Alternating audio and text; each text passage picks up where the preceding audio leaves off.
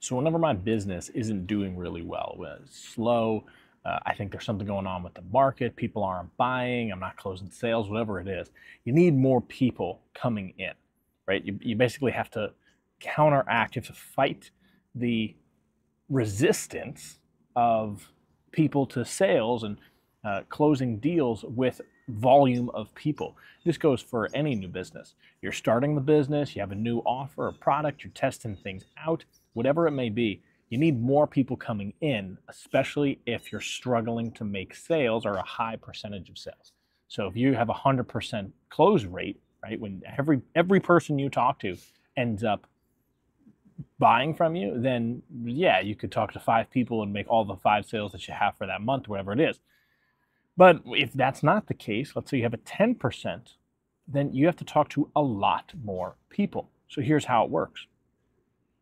When I'm slowing down in my business or something's slowing down and I realize that I have to get more people in, there's a few things that I can do. And I want to talk about one specifically today because nobody talks about it, nobody does it. And because nobody does it, it's a missed opportunity. So you have the advantage here if you can do it and you do it really well. So let me talk about two of the first uh, things that people usually think of when they're thinking, I got to get more leads. And this is what I did for so long. Number one, they think about paid ads. Well, I'll just run more ads. What ends up happening is you run ads with the money that you need to run your business and you run out of money before the ads become profitable. So that doesn't work. And number two, people start making content. They post on social media. I think that's great to an extent, but that's not content marketing. That's social media marketing, which is a huge distinction. I'll make another video on that later. So the thing that you can do, and the thing I do the second I realize my calendar isn't full, is I start talking to more people. The more people you talk to, the better chance you have of somebody either having a problem that you can solve or they know somebody who has a problem that you can solve. Where do you start? Who do you go talk to? Well, you can go talk to business owners, you can go talk to people down in the park. However, before you start thinking, oh my God, I don't want to do that, I don't recommend starting there. That's what we call in the marketing world a cold audience, the cold people. They don't know you. You have to first build rapport with them. It's very difficult to go from hi, you don't know who I am, to hey, give me a couple thousand dollars for the service that I provide. It's way too difficult. And it's a huge jump. Instead, there's a truck going by. Instead, what you should do is start off with the people closest to you and start to branch out from there. So you call your mom, you call your dad, you call your sister, you call your brother, you call your cousins, then you call your friends, you call your high school friends, your middle school friends, your elementary school friends. You go all the way back as far as you can.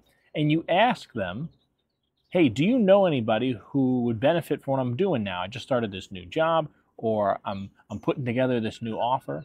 Oh, my coffee's done.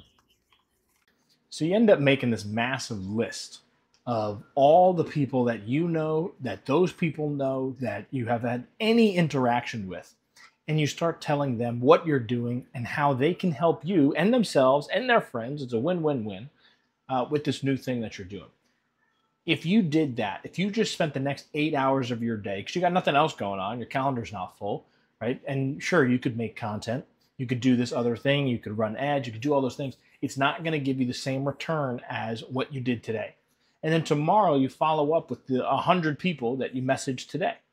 And then you follow up the third day and each one of those days becomes a follow up for the 100 people you contacted the first day and the 100 people you contact the second day.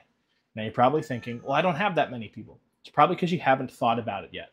I want you to first start off by writing down 10 names, just 10 people, and they definitely know 10 people. So we already have 100.